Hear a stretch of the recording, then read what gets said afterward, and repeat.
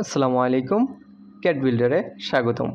এই ভিডিওতে আমি স্ক্রিনে দেখানো অবজেক্টটা ড্র করতে যাচ্ছি এবং এটা আমাদের প্র্যাকটিস নং সেভেন চলুন শুরু করা যাক। এই ড্রয়িংটা শুরু করার জন্য প্রথমে আমরা এই ফিফটিন ইউনিট এবং এই টোয়েন্টি ফোর ইউনিট লাইন দুটি আর্ট করব।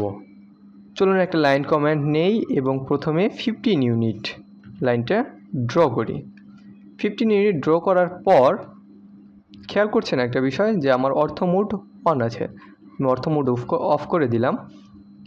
এবং এরপর আমি টোয়েন্টি ফোর ইউনিট লাইনটা ডিফাইন করে ট্যাপ চেপে অ্যাঙ্গেলটা সিক্সটি ডিগ্রি ডিফাইন করে দিলাম।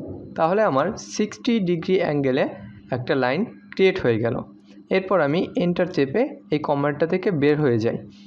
এই লাইনটার একটা সিলেক্ট করে এই লাইনটার মিরর করব। অর্থাৎ এই যে উপরের এই অপশনটা মিরর অপশন আমি একটা মিরর কমান্ড নিলাম এবং এই পয়েন্টটাতে সিলেক্ট করে আমি মোটামুটি অর্থ মুড অন করে নাইনটি ডিগ্রি অ্যাঙ্গেলে একটা মিরর করে নিলাম, ঠিক আছে?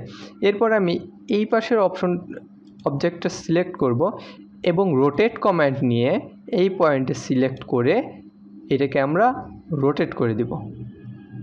এইভাবে রোটেট করে দিলাম।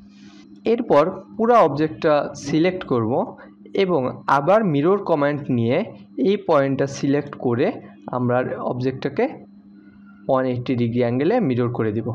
এবং এখানে এই নোটা দিব এই কারণে যদি ইয়েস দিই, তাহলে আমার যেখান টুক থেকে মিরর করছি, সেটা মুছে যাবে। এই জন্য এটা আমরা নো সিলেক্ট করব।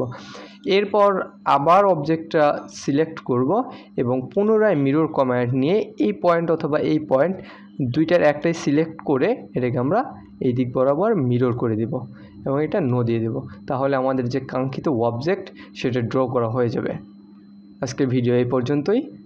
ধন্যবাদ সকলকে।